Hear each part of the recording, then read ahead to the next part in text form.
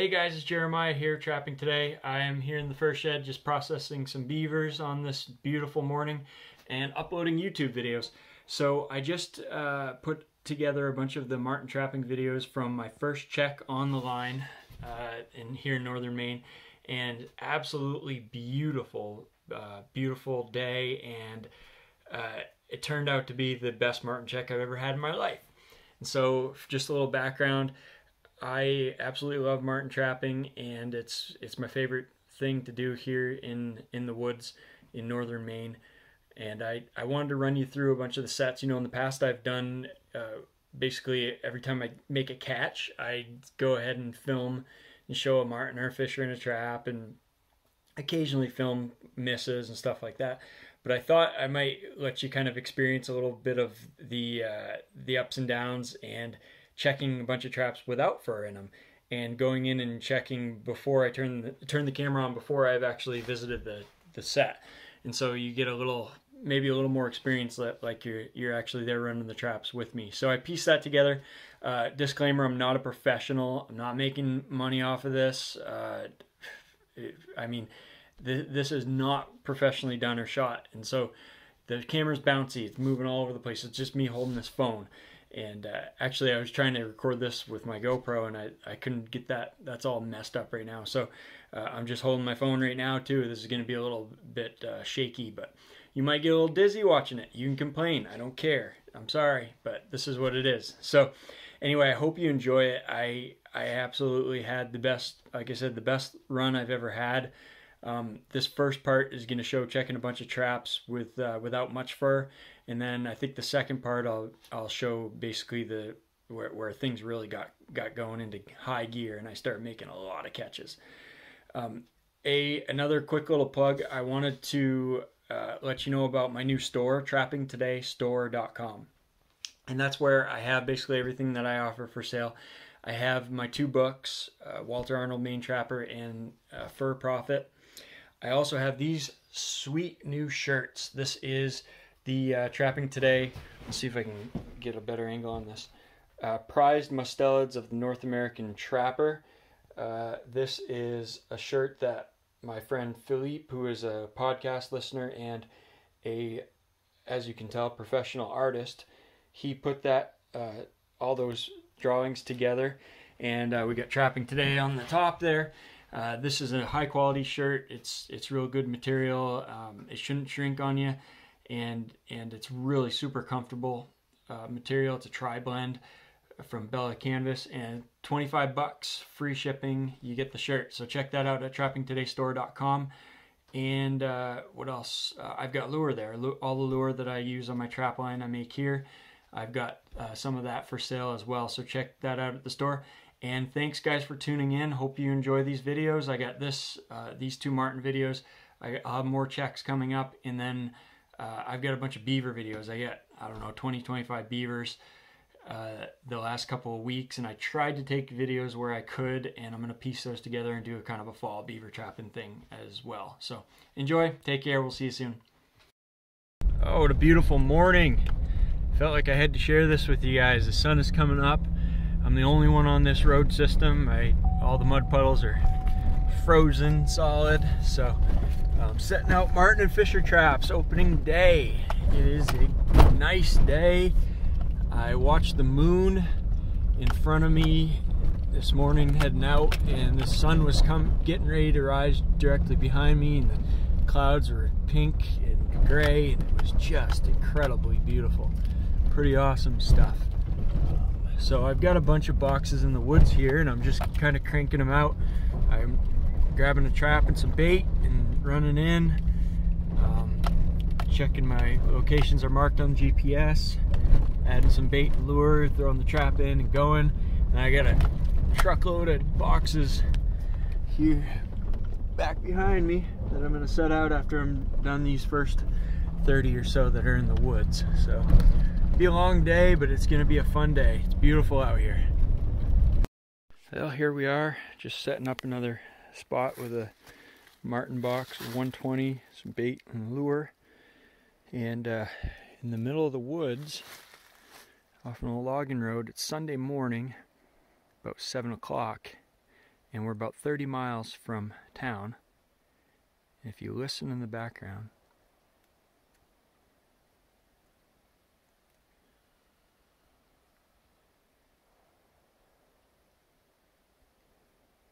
was a little louder earlier. Just boom, boom, crash, boom, crash, crash, crash.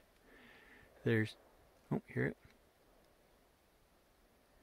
A lot of noise. Someone's working with a machine, probably an excavator, building a road or something on a Sunday morning. Um, I love it up here. I love trapping in this country. But boy, that's the reason that I would like to be trapping in Alaska instead because it's remote and quiet. But this is about as remote as you're going to get in northern Maine. So I'm not complaining, but that's just so you get an idea what we have to deal with. I I've got to kind of try to dodge as many logging operations as possible, get in and out my traps, and try not to get in any dangerous situations with trucks on the roads and stuff. So um, you just never know. I mean, I could have there might not be like this road. There might not be uh, any wood harvesting taking place here for the next 10, 15 years. Or next week I could come check my traps and there could be uh, a bunch of machines going right steady and cutting all these trees down around my sets and uh, so you just never know but we uh, that's one thing i'm learning about trapping up here is just learning to adapt and be a little more uh, flexible with things but anyway got to get to the next trap it is nice quiet calm morning first check of the season had these traps out here in the big woods for four days so I just checked five. This is number six. It's a nice little spot in the woods. We set about 50 traps for Marten and fisher, so got a lot to check. But I like this area, mature trees and stuff. And I got my box right in there. And she's fired. Trap is fired. Let's see what's in there. We got a weasel. It looks like he hadn't turned color yet. Still a bit early, but that's good. We got something. Something's better than nothing, right? Look how foggy it is out there. This is northern Maine weather at its best. Two nights ago, we were. I set these traps, I guess, four nights ago, and uh, four days ago. And two nights ago, we were 10 degrees overnight. Some places that up here probably dropped into single digits. And then oh there's a partridge. Too bad no my shotgun. And uh, then we this south wind started to breeze come, come in this uh, yesterday morning and started to warm up a little bit. Clouds came in. There's another grouse. Um, and then it warmed up overnight and it got all foggy and it's supposed to be up in the 40s in the 50 degrees today. So crazy, crazy weather.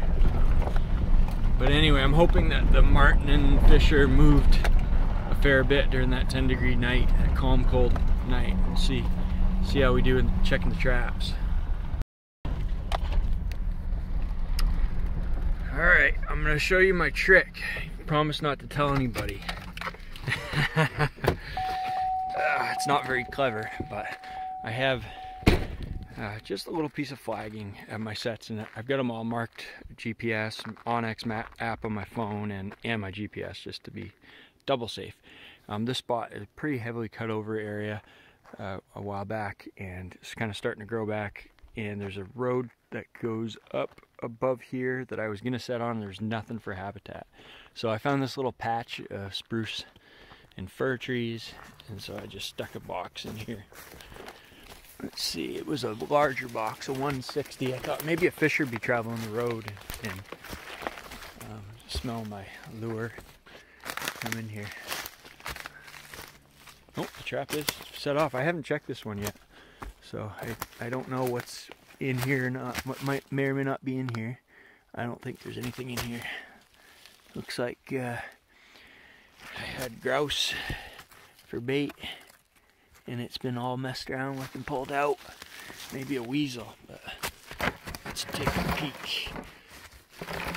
Maybe a weasel fired off the trap and didn't get caught.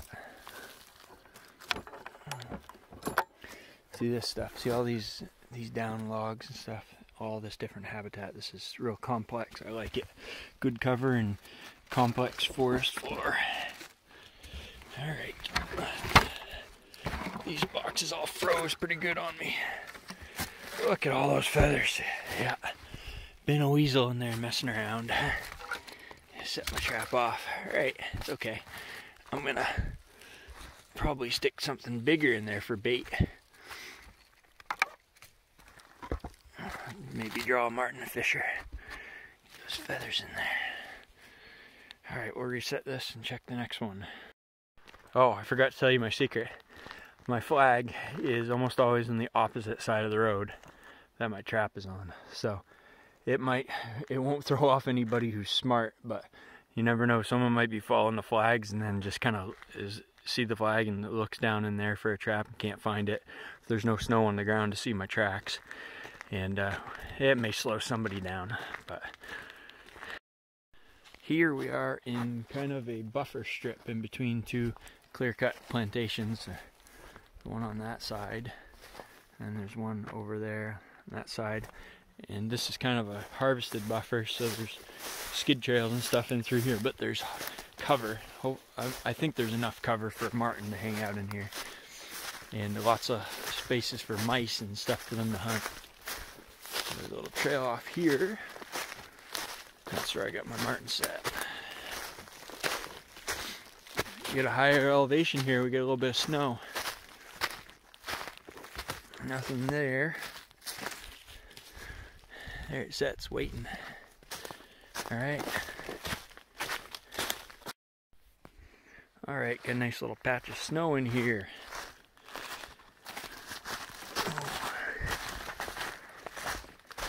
Under these big cedars, nice little bit of marten habitat.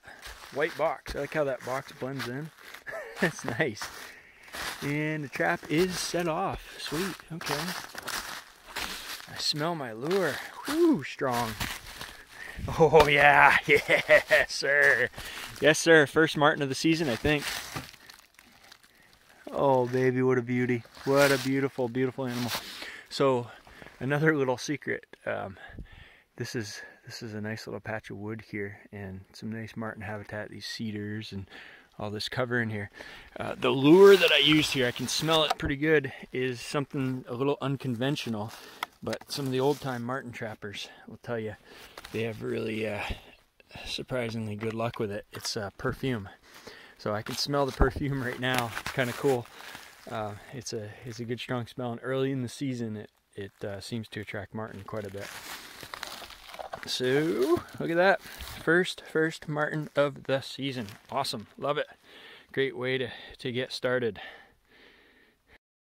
Caught a Marten in the last set about a quarter mile back from here. And this road dead ends just a little ways down and there's a lot of country beyond that dead end that uh, is not accessed and not being trapped or anything. Pretty good looking habitat based on the aerial maps. So I, uh, I popped one in here a little close to the last set where I caught that marten, but you never know.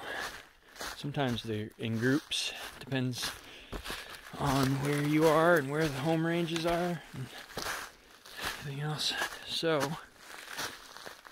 that one, nothing there yet. All right, good deal. Back to the main road we go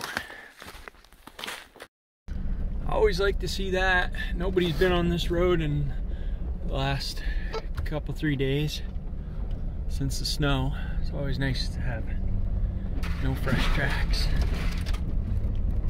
Get the place to myself.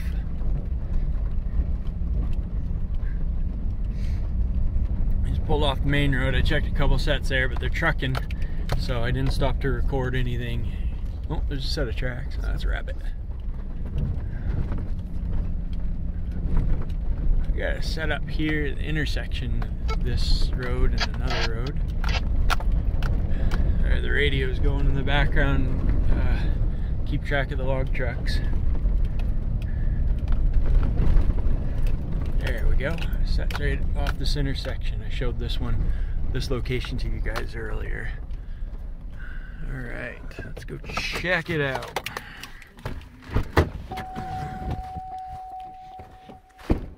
No fish are traveling on the road, so at least not right there.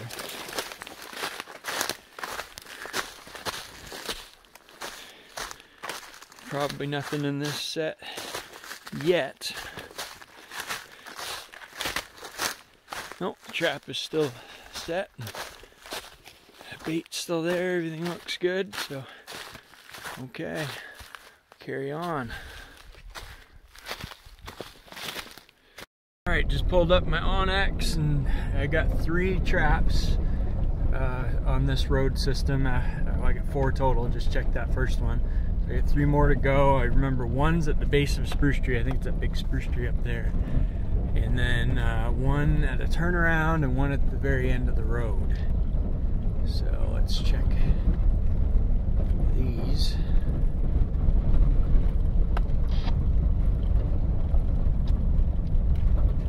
There's flag. Something walking the road.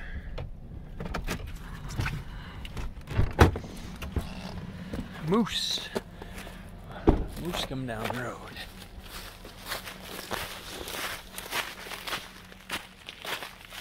There, traps there, baits there. Nothing touched, okay. God, it's a nice morning. Sun's actually gonna show up today.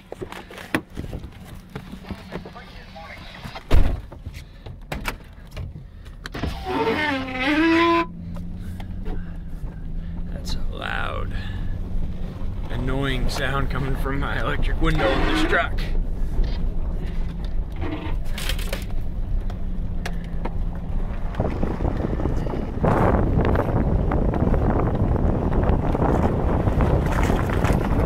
It's not Alaska, but I ain't going to Alaska this year, so this is as good as I'm gonna get. Marten trapping in some pretty wild country for the Northeast.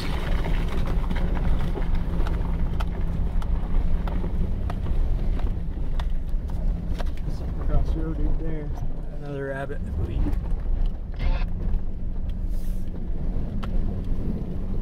There's my notebook.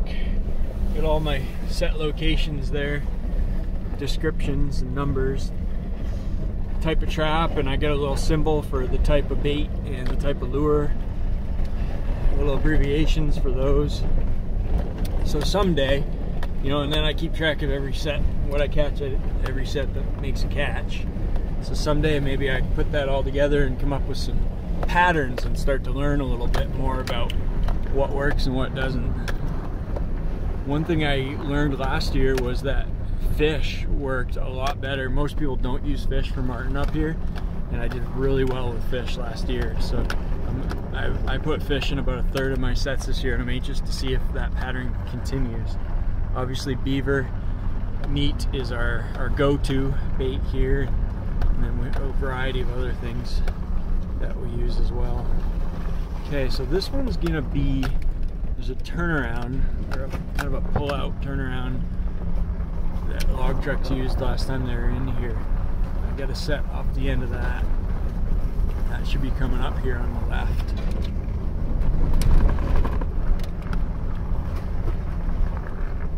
There it is. See, there's actually a nice patch of trees there they came in and they cut a lot on this side of the road, but this side, not so much. Right.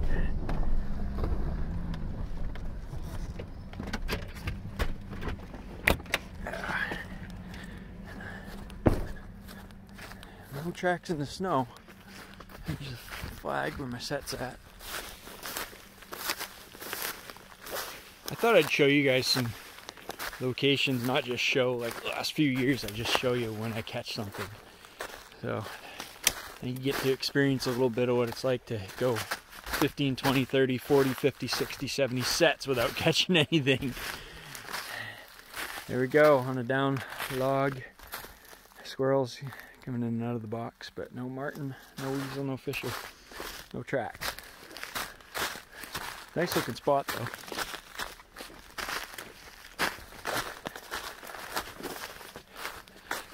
Yeah, fog.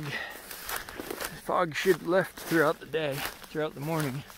The sun's trying to burn its way through. It's pretty warm. This snow's gonna melt here the next couple days.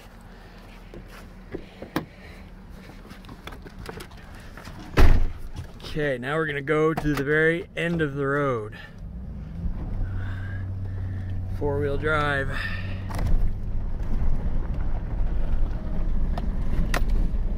that moose again.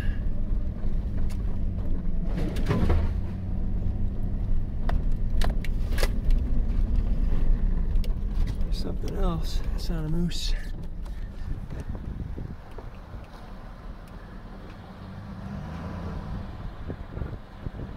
Snowshoe hare, and lo that looks like a lynx.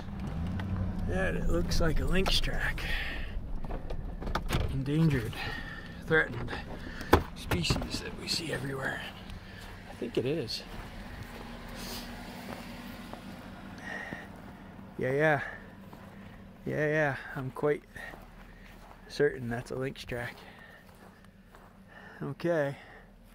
Well, that's why we get these lynx exclusion boxes so we don't catch those boogers until they get delisted from the Endangered Species Act. Uh, but they are everywhere. They are everywhere up here.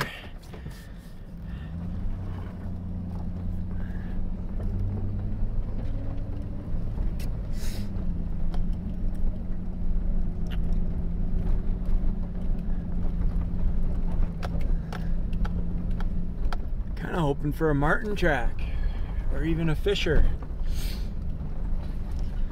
It's pretty good looking Marten country out here. So this next one I've got, I hope no one watching this knows which road I'm on. There's only about 10,000 roads that look like this in northern Maine. I got this one right next to the road, right next to that turnaround, just kind of on the back side of the bank. I don't have to go too far to check it. But it's at this dead end road and it, I mean again, I'm, I'm scouting these areas using the onX and looking at the aerial photos and seeing what the cover looks like and all that and uh, where the roads are. And this is a nice spot at the end of this road and there's not no timber harvest for uh, quite quite a large area beyond the end of this road. Uh, that won't last probably in the next five to ten years it'll all be cut. Um, more than likely almost 100% certainty of that but um, for now we're gonna try to catch a marten. Okay.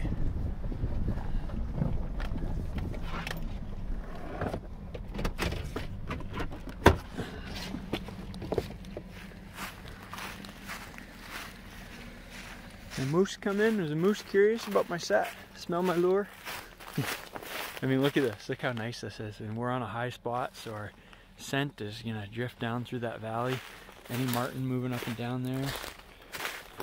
Smell our lure.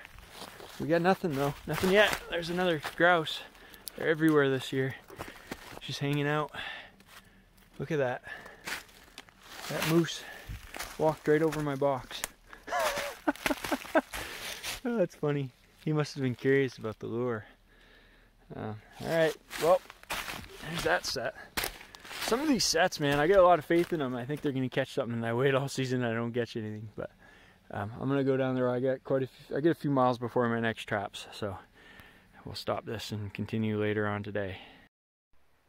All right, I'm just off the main road here, coming through this area, and I just broke into a different township, different landowners, and I've been excited about this. Been wanting to set this up for a couple years. I finally ran my Marten line through here, and uh, this is the difference. There's a lot of big wood in here and it appears to be awesome Marten country. So anyway, we'll see if I'm right or not on this. But anyway, I just, this is the very first trap within this township.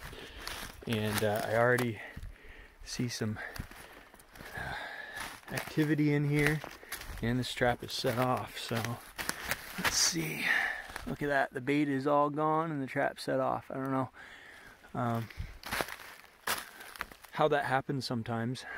but this is, there's a marten that has been all around here, all over it. I mean, look at that. There's marten tracks there and on the box. So this is exciting. The very first trap in this area. Um, this was fish, baited with fish, right by this little brook. And I'm gonna reset this and, and rebait it. And wow, this is cool. Hopefully I'll have a marten here next check.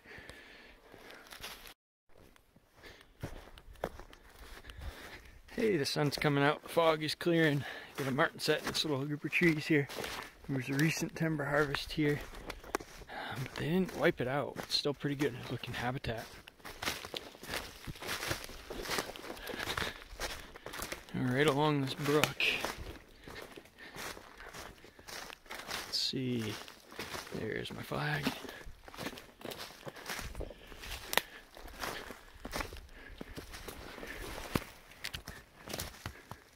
Do nothing. Just squirrels on the box. Okay, on to the next. This one is a bit of a tangled mess to get down. Right next to this brook. And I'm always setting by these brooks.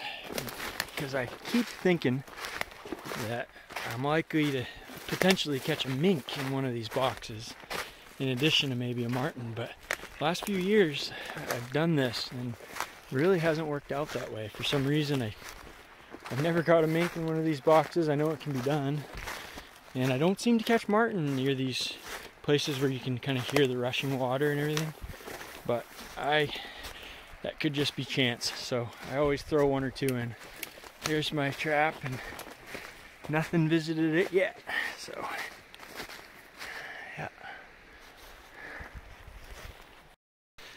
Oh, I like this spot. There's quite a little bit more snow here, a little higher elevation. This is nice mature timber in here. Little mix of hardwood and softwood. Lots of habitat on the ground for marten.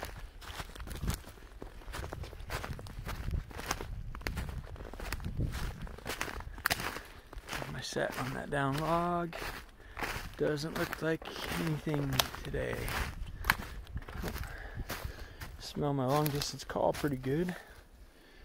Okay, nothing yet. Look at that ground. There's got to be Marten hanging around here. We're going to catch him eventually.